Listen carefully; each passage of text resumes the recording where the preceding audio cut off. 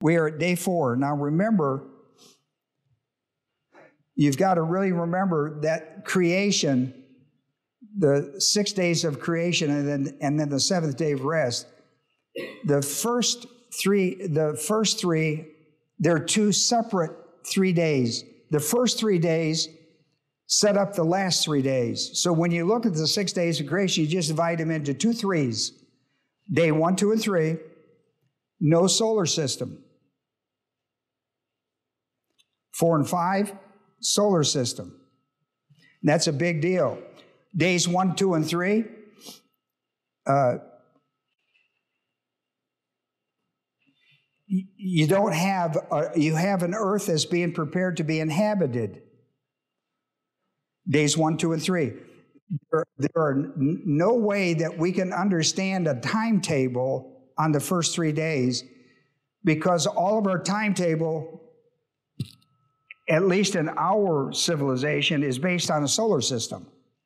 You'll see it today on day four. So theologians call day one and two the days of God because there's no way to calculate them. There's no way to scientifically understand days one, two, and three. The science that we have in our generation, which is pretty a pretty good science, uh, wouldn't have a clue about how to figure that out. We're still trying to figure out four, days four, five, and six. So it's it the, so it's really interesting. The six days of creation. You always have to remember that they're day one, two, and three. No one had the earth is not inhabitable. Four, five, and six. It is. So that's very important. Here's here's day four. Then God said, "Let there be lights in the expanse." Remember that was day three. We had the expanse that goes around the earth. The, the, the, the um, astronauts call it the thin blue line. And they go through that when they go to outer space. When they leave atmosphere and go to outer space, they all go through that and they all comment about it. Even the v- recent visitors that have gone through that thin blue line called the expanse in the Bible remark about it. They, it's interesting how they talk about it. Well, here's verse 14. There was, let, let there, watch the word let. It's used three times, the word let. It's a adjustive, and, and that's really important that you understand that. Let there be lights in the expanse of the heavens to separate the day from the night, and let them be for signs, for seasons, for days, and years. See, you couldn't count those. They had none of that before day four. This is day four stuff. Then in verse 15, and let them be for lights in the expanse of the heavens to give light on the earth, and it was so. Remember, that's a key, a key phrase. And God made two great lights the greater light to govern the day, and the lesser light to govern the night, and the stars also for night. God placed them in the expanse of the heavens to give light on the earth and to govern the day and the night, and to separate the light from the darkness. And God saw that it was good. There was evening, there was morning, a fourth day. This is a big deal because this is the beginning to bring habitation to the earth. Four, five, and six. And so four is setting this, setting the stage to bring in day five and day six, the habitation. That this is really important stuff uh, here. So let's have a word of prayer, and um, then we'll get into morning study. Remember that as a believer, indwelt by the Holy Spirit, because you live in the church age, the moment you believe that Christ died for your sins, was buried and raised from the dead, you received eight works of the Holy Spirit you can never lose in time and eternity. If you have not studied that and not aware of it, there's a little pamphlet back there called 50 Things You Received at Salvation You Should Pick Up and Take Home. It's free. Eight works of the Holy Spirit. One of them is to indwell you and makes your body the temple of God, 1 Corinthians 6 19 and 20. The Holy Spirit is inside you in the church age. That's between the first coming and second coming is the church age in order to teach and recall the Word of God in your soul. John 14, 26. You have to be careful that you don't try to study the Bible in the flesh or carnal. Evidence of carnality in the Christian life is personal sin. Personal sin could be mental attitude sins, sins of the tongue, or overt sins. What do I do? Because the Holy Spirit can never leave me, John 14, 16. So, how do I get back into fellowship with Him? When I'm in the flesh, how do I get back into the Spirit? You confess your sin. You do it in silence, you do it in privacy, but you do it. 1 John 1 9 says, If you confess your sin, He, God, is faithful and just to forgive you and cleanse you. That's the work of Christ on the cross, not for salvation this time, but to the Christian life for sanctification because of the indwelling ministry of the Holy Spirit. And this is key to Bible study. So I'm going to give you a moment to do that in silence. Every head bowed, every eye closed to give you privacy. You make your confessions. It could be mental attitude types or sins of the tongue or overt sins. You make those confessions in silence so the Holy Spirit can minister the word. And so, Father, we thank you today for these that come our way, for those who are visiting with us. We pray enlightenment upon their souls today, knowledge. On the fourth day, what a magnificent day this was. Light up the earth, both in the daytime and the nighttime the sun, the moon, and the stars. My, my, my. What a magnificent God. Worthy of praise, the psalmist is right. The writer of Psalms writes over and over in his book hymns of praise for the mighty Creator God. What a magnificent day day four is, day five and day six. They're all magnificent, Father. But these set up our whole habitation on earth. And we're so thankful for it in Jesus' name. Amen. Always remember the separation of the first three days from the second three days. The first three days were uninhabitable, the second were inhabitable. The last, and you want to pay attention to this, the last day of the first three days, in other words, day three, and the last day of the last three days, day six, are really interesting because he says the same thing. On the last day of each division of the three days, he does a double work and says this The earth brought forth. He said it at the end of day three, and he said it at the end of day four. The earth is now ready. In verse three, he says it, the earth is now ready to bring forth. In day, and boy, the earth is going to bring a lot of stuff forward in day four, five, and six. It's going to be amazing. So the earth brought forth, notice it's a Hiphil in the Hebrew. For those who are not familiar with the Hebrew language, that's the Old Testament. In the Hiphil, the Hiphil is causative.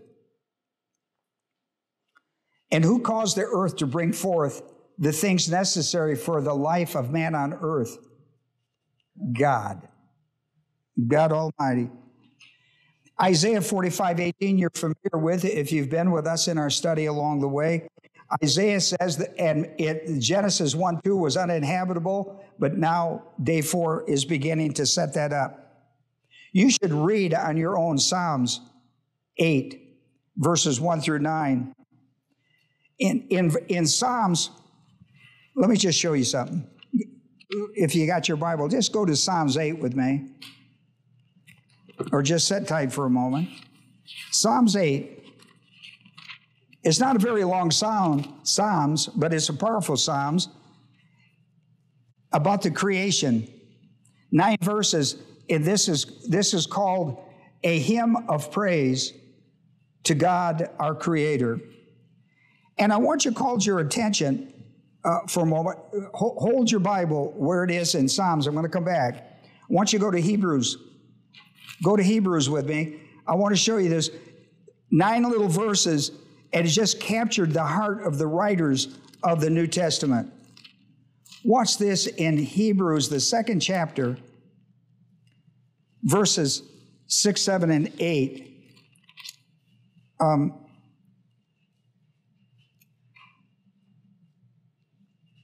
he, he's going to, he's going to, in Hebrews, the second chapter, 6, 7, and 8. All right, hold your place. Keep them both now. Let's go back to Psalms 8. And and he opens us up as the Psalms of praise. O Lord our God, how majestic is your name in all the earth, who have displayed your splendor, splendors above the heavens. I mean, you've probably sung this theme from this.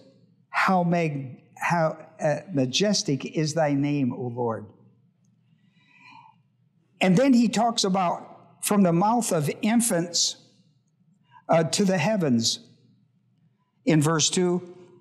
And then in verse 3, he says, When I consider your heavens, the work of your fingers, the moon and the stars, which are which you have ordained, what is man that you have thought of him, and the Son of Man that you care for him? The writer of Hebrews is going to refer to the Son of Man as Jesus Christ, the man of the earth, the man of the earth. When I consider your heavens, the work of your fingers, the moon, the stars, which you have ordained, what is man that you have take you take thought of him, and the Son of Man that you care for him? You have made him a little lower than God. You crowned him with glory and ma- majesty. You make him to rule over the works of your hands and put all things under his feet. Now look at look at Hebrews. The writer of Hebrews is all over that in the second chapter when he writes, he did not subject to angels the world to come concerning which, he are, which, which we are speaking, but one has testified somewhere, and that's Psalms 8, and he quotes what I just read to you.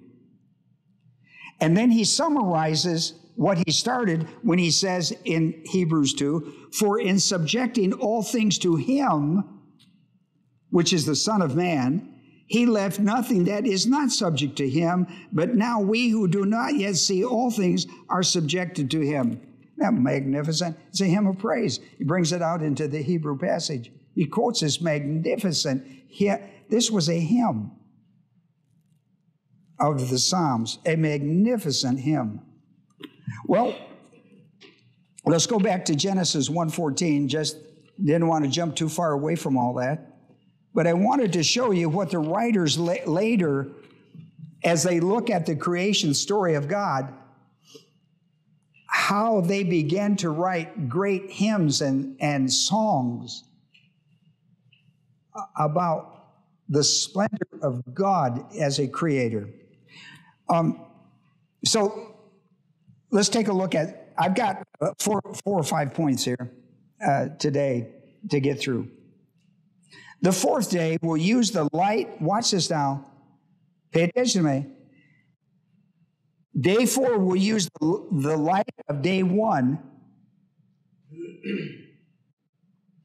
and the expanse of day two, the firmament, or however your Bible describes it, to develop the solar system. Our solar system. This, was, this is how it was created. You're never going to learn that from anybody else but the Bible. The word expanse, watch this now, is used three times on day four. When I read through it, I paid attention to it. I understand that. It's used three times. The word expanse is used three times. It's used in verse 14, verse 15, and verse 17 expanse that came out of day three and the light that came out of day one is all about the solar system. Our solar system. This is how we exist on earth, is through a solar system. The fourth day shows that God is the source of our solar system. Isaiah 66 1. In Isaiah 66 1, my throne, earth is my footstool. He declares that's what God has said. Heaven is my throne. And we refer, now he's talking about third heaven. Atmosphere is one, outer spaces too. We have learned this from the Word of God. Atmosphere, you have the expanse, above the expanse is upper, and then you have the third heaven, the throne room of God. We call it the throne room of God, not by accident, by word. It's the throne room of God. The earth is my footstool. The Milky Way that you might be familiar with contains our solar system. The Earth is one of nine planets, as you well know, that revolve around the sun every 365 days. This is day four. This is day four that we just take for granted and, and don't give God any credit for our calendar or for anything else going on in our life. And we should. We should praise Him for this. You understand these things? This stuff you've read about, this is day four. This is where all this stuff came into existence. And how it came into existence. Point number two there are four divine activities on day four. Four divine activities on day four. Psalms writes about it in, eight, Psalms 8 and 19. Psalms 19. They write about it. In Psalms 19, the writer, again talking about the magnificent God who created the earth and heavens, heavens are telling the story of the glory of God, he writes. The heavens, day four, the heavens and all that God has put in in a magnificent way tell the story of the glory of God. Once again, the writer has declared a, a hymn of praise about creation. Here are the four activities on day four that God did. Here's what God did on day four. First of all, it says that God said, then it says God made, God placed, and God saw. If you read that, you'll see that about God. He's mentioned four times. God said, God made, God placed, and God saw. God said, This is the power of the Word of God. This is the power of the Word of God in your life. God said means He spoke the Word and the Word became reality. You need to know that because you're to walk by what? Faith. Faith in what? The Word of God. Romans 10 17, faith comes by hearing and hearing the Word of God. Listen, the God who spoke this word and created day four is the same God that speaks the word over your life and will create a new life for you. This, these are not separate. This is the same God that did this that will do that. You need to realize that. Pay attention to the word let, that's a jussive, and that's really important. It's used three times. In verses 14, 15, and 16, the word let. It's jussive and is connected to the divine plan of God. He said in, in verse 14 and 15, these three things, these three things were created by divine decree. When he says, let, and then says, and it was so, listen to me now, when he says let and it was so, he's going back to the eternal life conference in eternity past when God laid out the plan that he is now he is now manifesting in time day one, day two, day three, day four, day five, day six in creation. This is your week, by the way, right? Has any has your week changed any? I mean, does the government come along and say, "Well, it's not a week no longer"? I mean, they give us national holidays, but so far they haven't, they haven't screwed up the week. All right? So here's what he says. He says, let, watch this now. The, the three lets are really important because this is the plan of God being exercised from the eternal life conference in eternity past when God sat down with God the Father, God the Son, God the Holy Spirit and laid the whole plan of God out. It is now being done in time. Right? And that's the word let, and so it was. And it was so. He says, let, and, and it was so.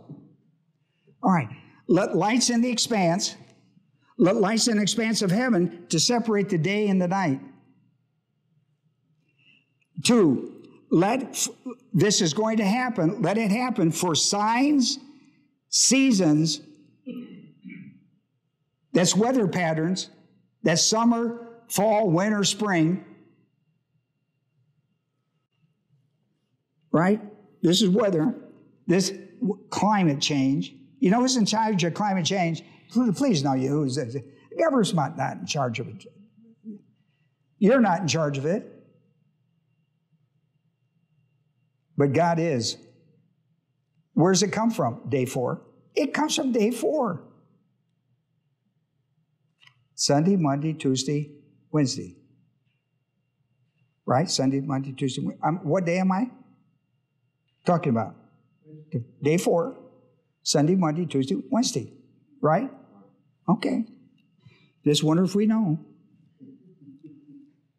Listen, he says, let the expanse of the heavens to separate the day from the night for, for signs, seasons, like summer, winter, days and years. That's a calendar. Would you agree? I mean, what time of the year are we in? Summer, right? We know the day we're in. We're on the, right? First day. We're, we're, today, this Sunday, first day, right? And we know it's July the 10th, and we know the year. Do you know how magnificent that is? And you know that's all day four? Every bit of that's day four. And even the climate. Well, what do you expect? Well, it's summer. It's going to be hot, and we're going to get rain showers if you know if it, if we if it runs a pattern. It's all day four. Well, I don't know. You should read Psalms 74, not now, but you should read Psalm 74, verse 17. You know what God, you know what it says? And God set boundaries. You know what day four is all about? Boundaries.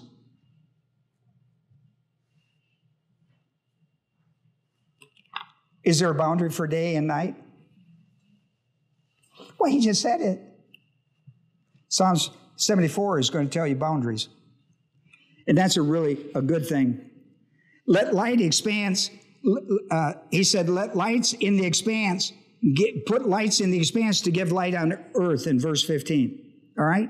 So here's the first let. Are you with me? It's your whole calendar. It's your whole life. This is summer, this is winter, this is spring, this is fall. I guess we only have two down here, but some people actually have four. But there it is. And then it says, God made. Asa means to make something out of something already in existence in the Hebrew. Two great lights. Two great lights. How many? Okay. Two great lights. The greater light to govern the day, what do you think we're going to call that? Sun, sunlight. And a lesser to govern the nights with the stars. Right? We call that the moon, right? You know how many songs have been have been recorded with the word moon in it? Amazing number. Well, anyhow, I just thought I, that eh, that's free. Psalms 104:19 is well worth your read on the subject. Not now, later. God placed the word natan. God placed them in the expanse to give light on the earth, to govern the day, and the night and to separate the light from darkness. That's all on day four.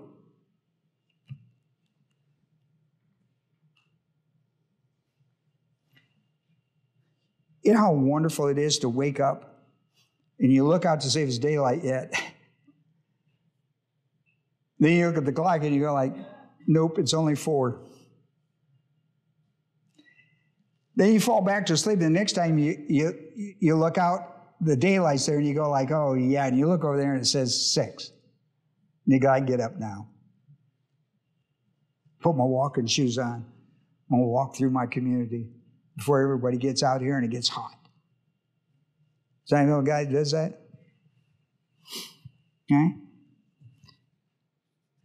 And you know how it makes you feel? I mean, when the sun goes down, and so do you, right?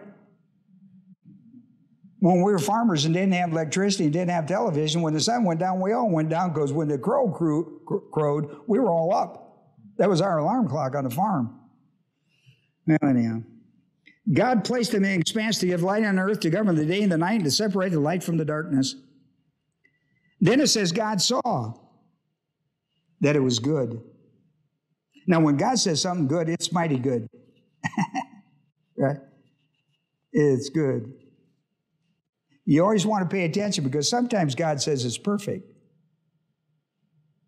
You go like, wow.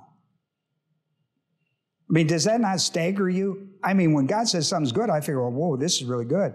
But when He says it's perfect, holy macro. And you know, He says that sometimes. I mean, He's going to say all things work together for those who love God, who are called according to His purpose, His plan. All things will work together for good. Sometimes he says perfect. And that's a big time in it. Like Ephesians 4:13. Oh yeah, well now you write it down. It was good. He, he saw he saw it, and God said it's good. This phrase was used on every day but two. Seven days, seven days, six days of creation, one day of rest. On the seven days, he says it's good on every day but two days. He doesn't say it on the second day and he doesn't say it on the seventh day because on the seventh day everything's perfect. On day two, he doesn't because all that water that's been held up is going to be used to flood the earth in Noah's day. You know that. I've taught you that. All right? Psalms 136, another Psalms you should read about. He uses the concept of God alone. I mean, who even thinks about that? Now, when he says that, he means no one else, God alone.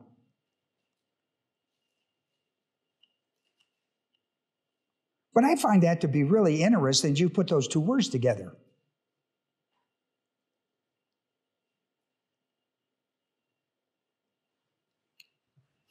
Well, anyhow, you know what Psalms 136 is all about? Listen to me. His loving kindness lasts forever. That's a whole Psalms on that great, that great theme. And many Christian hymns have been written off from this idea. His loving kindness lasts forever. He uses it in the Psalms 26 times. Loving kindness is everlasting. His loving kindness. Boy, if there was ever a Psalms that you should read every day of your life, no matter what circumstance your life is in, you should read that Psalms. Because whatever's going on in your life, you're not alone. Whatever's going on in your life, you're not alone. And not only is God with you and will never forsake you, 13, you know, you know, Hebrews 13. Not only will he not leave you, forsake you, but his loving kindness that he embraces you with in Christ is forever. His loving kindness towards you in Jesus Christ is forever. You go like, well, I don't know. I have done such and such. Listen, in Christ, if any man be in Christ, he's a new creation. 2 Corinthians 5:17. You should thank God every day that you believe that Jesus died for your sins, was buried, and raised from the dead the third day, so that you could enter into the loving kindness of God that is forever. It's not based on your character. Listen to me. It's based on God's character. He said, I will love you from this day forever, and forever is forever. New every morning. New every morning. Well, it's a wonderful Psalms. I, I encourage you to read Psalms 136. I encourage you to read it every day of your life. Point number four, three. the fourth day lights in the expanse were the second phase, pay attention, was the second phase of the separation of light and darkness. The separation of darkness. In, uh, from Genesis 1 2, there was darkness wrapped the earth, and darkness covered the earth. The first phase occurred on day one when God separated the light from the darkness and called the light day and the darkness night. That's in verse 4, chapter 1. In the second phase, it occurs on the fourth day when God made two great lights. One is greater than the other, the light of the day and the light of the night. The greater light, the sun, would govern the day, and the lesser light, the moon, and the stars to govern the night. Here's my fourth point. The lesser light of the moon and the stars that we go out at night, and aren't they magnificent on a nice, clear night? Isn't something? I mean, one of the things I used to love to do when I would go to the oceans, whatever ocean. For me, it was Lake Michigan as a kid growing up, and I would go sit on that. I wa- used to watch a little bitty kid, the sun go down into the ocean. Right? You watch the sun go down, it goes down into the ocean if you sit on the bank of Lake, Lake Michigan. And I would say to my grandfather, uh, he would be sitting next to me. That's one of the things we did after we milked the cows. Went down there and he'd say, Ronnie, what just happened to the sun? And I went, I don't know. It went into the ocean. It went into the lake, Grandpa. And he went, Yeah, and you know what? In the morning, it'll come back up. In the morning, it'll come back up. I used to sit there as a young man as I got older, I would sit there and I would watch the sun come up as it went down. I couldn't wait to be old enough to go down and sit on the beach all by myself. And one of the great joys of my life when I go to the places that have oceans is, is to watch the sun come up. Is that not magnificent? A whole new day by the, as a gift from God. A whole new day, a gift from God. And for a guy like me sitting there, that's day four. I go, are you not? And it makes you want, it just wants you to write a Psalms on the majesty of God. It just, I mean, your heart just goes like, I just, and you go, oh, wait, it's already been written. Let me read it. Just, it's just magnificent. Jeremiah 31 35 writes, Thus, the, thus saith the Lord, who gives the sun for light of the day and fixed orders, that's boundaries, fixed order of the moon and the stars for the light by night. We just take all that stuff for granted. We should take it, we should take it for grace, shouldn't we? Take it for granted, but take it for grace. I mean, God set this whole magnificent up for you and me. Just for you and me. The earth to be inhabited. All of this is about putting mankind on the earth as a gift from God. It's just, it's just so overwhelming. I study this stuff and I just get overwhelmed. How this is so, how can I make this simple enough for the people to understand how magnificent this is? The moon orbits the earth 29 days, 12 hours, 44 minutes, 2.8 seconds. Who's counting? I mean, who does that? There's a lonely man. Man, who does that? But there it is. The Hebrews fixed their calendar on what's called the lunar or the moon calendar. Scientists estimate, we know how that works, don't we?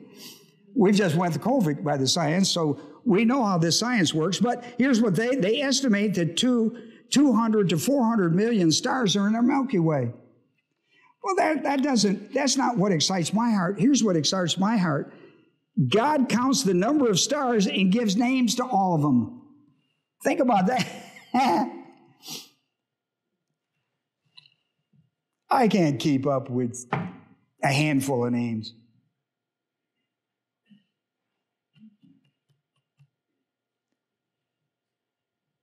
He counts the stars and names them.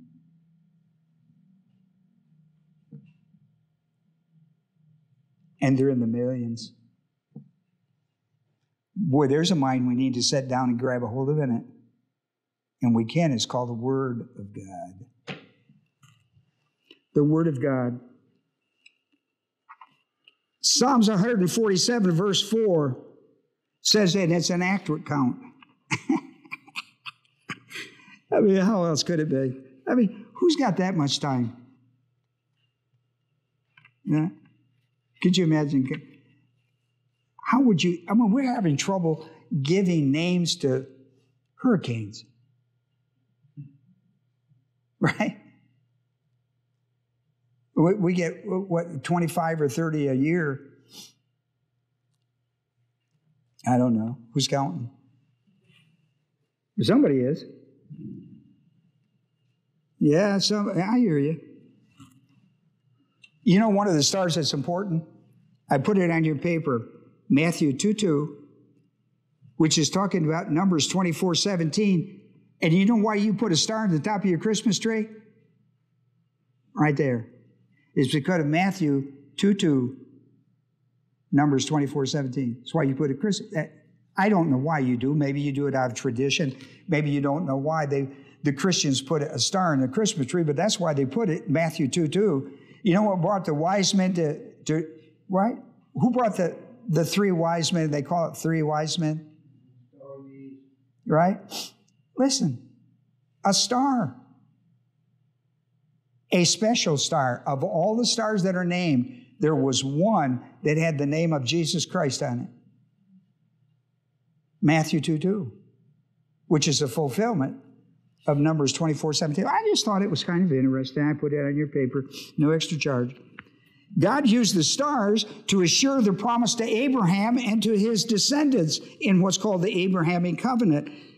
He said in, in Genesis 15 5, Now look towards the heavens and count the stars, if you're able to count them. And he said to him, So shall your descendants be. Uh, who better to say that to than Abraham, who couldn't have any kids for a while, right? And struggles. I gave you other passages that would be well worth your reading. Let me close with my final point. While the light of the sun and the moon govern the day and the night light, God governs both of them, and never forget that. He governs them all. And I'm going to give you some biblical examples of why God does it, and it's better for Him than anybody else. Could you imagine if the government had charge of that, what kind of mess we'd be in? Uh, thank, thank, thank God. Right? We will mention five occurrences in the Bible when God inter, intervened or interfered with the fixed order of the fourth day you should read Matthew 16, 1 through 4 on your own when he introduces you the signs, the signs of the time. And he says, every, all these Jews were wanting to have sign here and a sign there. He said, you can't even discern the, the, the, the fixed order that you have. Listen to five occasions. Now, you'll know some of these. You just probably never put them together. In the ninth plague of the Exodus, three days of darkness, God intervened. You understand? He stepped in. You know the story. You just probably never thought about it. During the war, war, between the Amorites and the Israelites, Joshua commanded the sun and the moon to stand still. You can read about it in Joshua 10. It is called the longest day in human history. The Bible records 23 hours and 20 minutes. We're 40 minutes short. King Hezekiah asked for a sign of healing from a fatal illness.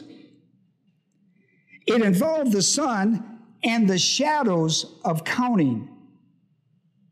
In 2 Kings 20, the missing 40 minutes of Joshua was found in that and put back in. It's amazing. The 10 step back was the 10 degrees of the sun that made that 40 up. Listen, do you realize how important God is in your life? I mean, how important is He? How, how majestic is Him? Is who He is in your life? Here's where it gets fun for you and I. The fourth time was at the crucifixion of Jesus Christ when they hung him on a cross. God caused darkness over the land from noon to three. In fact, that's so prevalent that they made a movie called High Noon. Remember that? Nah, you didn't. Why would I even ask you? uh, young people go like, what is he talking about? Young people under 50. So, darkness over the land, I mean, all of us know that from noon to three is high noon. I mean, it's, if it's going to smoke, it's going to smoke in it. I mean, it smokes. It gets hotter. He intervened. That's a day four intervention. In, in daylight, right? Intervened. You can read about it Matthew 27 and Luke 23. From the sixth, they call it from the sixth hour to the ninth hour, which is noon to three. And you know, not only that, listen, the Bible says the sun was obscured, and at the same time, God tore the inner veil of the temple from the top to the bottom down. Did away with the whole temple complex. Isn't that interesting? Well, you can read about it in these passages I gave you.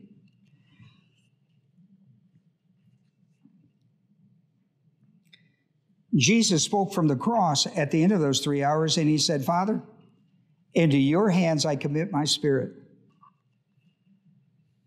Right? And he died. And you know what he did? He quoted Psalms 31 5. What he did was quote 31, Psalms 31 5. He quoted Psalm 30. He, he quoted the word of God from his soul back to the Father. This is what he wants from you and I. He don't want you just to learn it. He wants you to live it.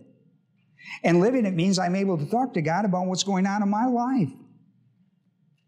From a page, number, and a scripture. Gosh, people, does not any of this come to light in your life? Father, into your hands I commit my spirit. He quoted Psalms 31 5.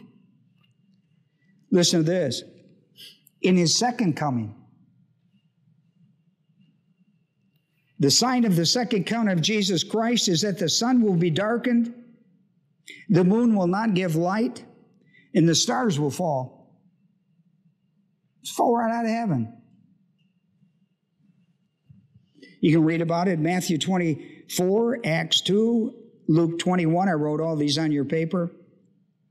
The heavens will shake, the stars will fall, the sun will turn to darkness and the moon into blood. He quotes Joel 2. He's quoting Joel, the second chapter. Here's my final point on the bottom of your paper. One of the features of the fourth day solar system was signs, season, days, and years, our calendar. It established the Earth annual calendar and daily time zones of the Earth. You know, you fly through time zones, right? That's all about the solar system of day four. Here's my point. In Psalms 31, in, in uh, is Ecclesiastes 3 1, he says, There is an appointed time. Now think about that. There is an appointed time. Where did time come from? And where's this appointment? It's your life. There is an appointed time for everything in regard to your life in the plan of God. Every Sunday, Monday, Tuesday, Wednesday, Thursday, Friday, and Saturday is covered in the plan of God. Every second, every minute, every day, every hour, every bit of your calendar is covered in the plan of God. Do you understand that? That's day four. God created all that for you and for me. There is an appointed time for everything in the plan of God. There is a time for everything, even under the heavens, for your life. You should be thankful for that today. How is it possible that you don't pay attention to God, but you do the week? Where do you think your week came from? How do you think the 24 hours you got came from? How do you think anything that you eat, live, and exist, the air you breathe, isn't from God? That's day four, five. Your whole existence on this planet is because of God and one day, this entire planet will be changed by God, not by man. You should pay attention to God Almighty in your life. I don't know what your journey in life is, I don't know where you're headed. But I know wherever it is, you shouldn't go there without God Almighty through Jesus Christ. You go into school, you're going into marriage, you're going to get engaged, you're changing jobs, you got health issues, whatever's going on is covered in the plan of God. You know, people go into hospital, the first thing they ask you is, do, do you have insurance? I tell them, no, I have something better. They, you got something better than insurance, Mr. Adema? I said, yes, I have assurance. assurance beats insurance any day of the year. And they go like, "Oh, I've never heard that before." I know, but I'm going to tell you. I'll take assurance any day over insurance. Right? I'm not saying you shouldn't have insurance. I'm just saying you can't have it without assurance. Assurance is the greatest of the two. Father, we're thankful today for these that have come our way to study with us in the book of Genesis and the creation story. Today we've looked at day four.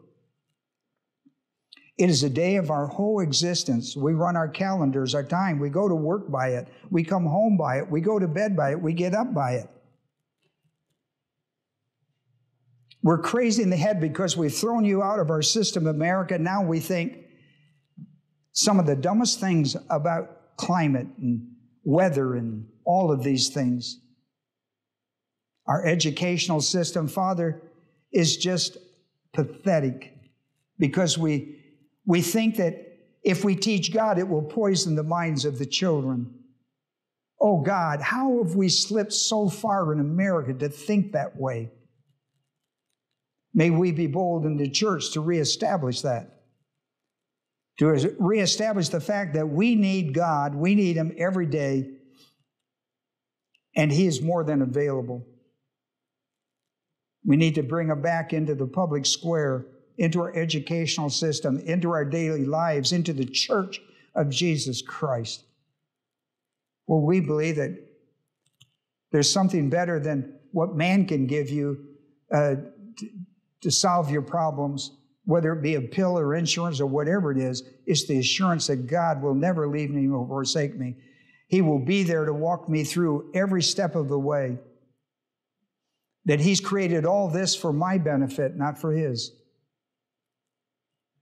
And it declares, it screams out, the creation screams out of how majestic God is. Oh, Father, may we come back to that. As America, I pray for that, Father. I pray for that. I, br- I pray that we would be the beginning of that in our own hearts, in our own church, in our own community. I pray for Moody, Father, in St. Clair County that we would not go the way of the world, but we would go the way of God. For we've made our prayer in Jesus' name. Amen.